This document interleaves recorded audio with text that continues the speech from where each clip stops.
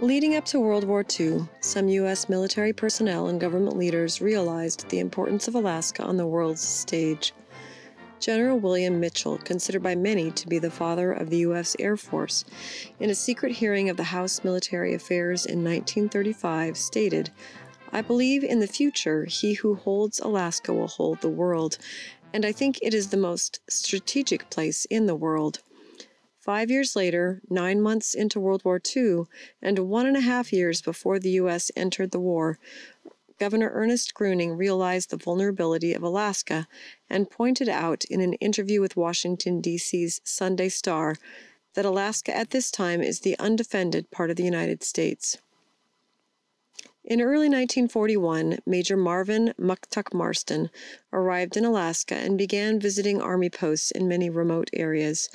During the coming months, he learned of Japanese reconnaissance in those areas.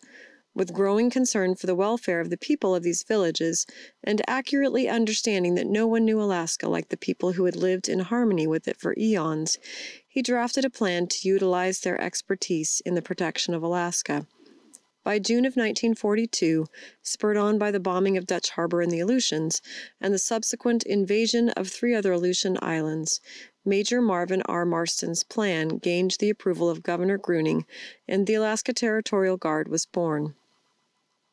During recruitment trips to seek members for the Guard, Major Marston and those who accompanied him found many who did not know they lived in a territory under the protection of the U.S. government.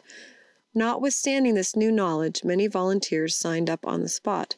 These Alaska Territorial Guard members realized the importance of the duty they were performing, both for themselves and for the good of their newfound territory. During World War II, the Alaska Territorial Guard was comprised of over 6,000 Alaska Native people from throughout the state who stood ready to protect Alaska. Men, women, and children signed up to join the ranks, some as young as 12 and as old as 80. Stories are told of the accuracy of the marksmanship of these men and women, even elders of 80, hitting targets dead center. In addition to being expert marksmen who worked without pay, these guard members had amazing stamina, didn't require supplies except guns and training, had an astute understanding of the land and its ways, and were ever vigilant across thousands of miles of territory. These qualities were of great significance to the U.S. military. When information was gathered by the Alaska Territorial Guard members, it was taken seriously and passed along the chain of command.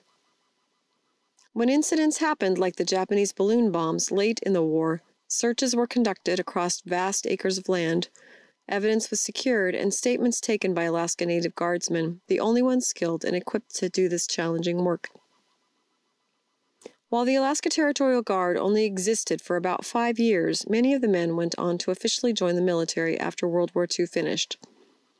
What they brought to the Guard as people of the land and what they had learned during their time as Guard members carried them through their military service years and beyond. With the closing of the war and the eventual disbanding of the ATG, Alaska Native leaders such as Frank Peratrovich Percy Ipalook, and others continued to rise up and confront the issue of being treated as less than that had haunted them since the Russians had first reached their shores.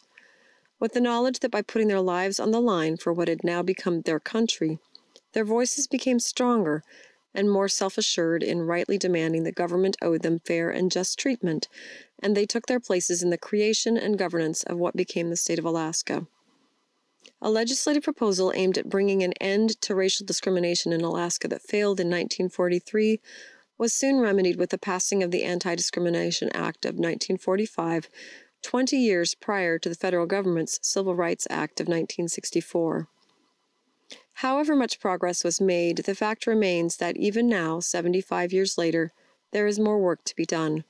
In 2001, the Alaska Advisory Committee to the U.S. Commission on Civil Rights met to discuss the continuing issue of racism in Alaska. During that meeting, June Degnan, a Yupik resident of Unalakleet, stated, Discrimination is a learned behavior. Discrimination is still rampant and pervasive throughout Alaska today. As recently as this last February, Alaska Native leaders met to discuss this topic during the Native Issues Forum. Representative Tiffany Zulkosky of Bethel had this to say on the subject. While we've made progress, there continues to be somewhat of a gap in understanding the role that Alaska Native people have played in this place traditionally since time immemorial. It's really difficult work for tribes and Alaska Native people to continue to educate people, educate policymakers, and those who carry the burden to ensure that Alaskans as a state are taken care of.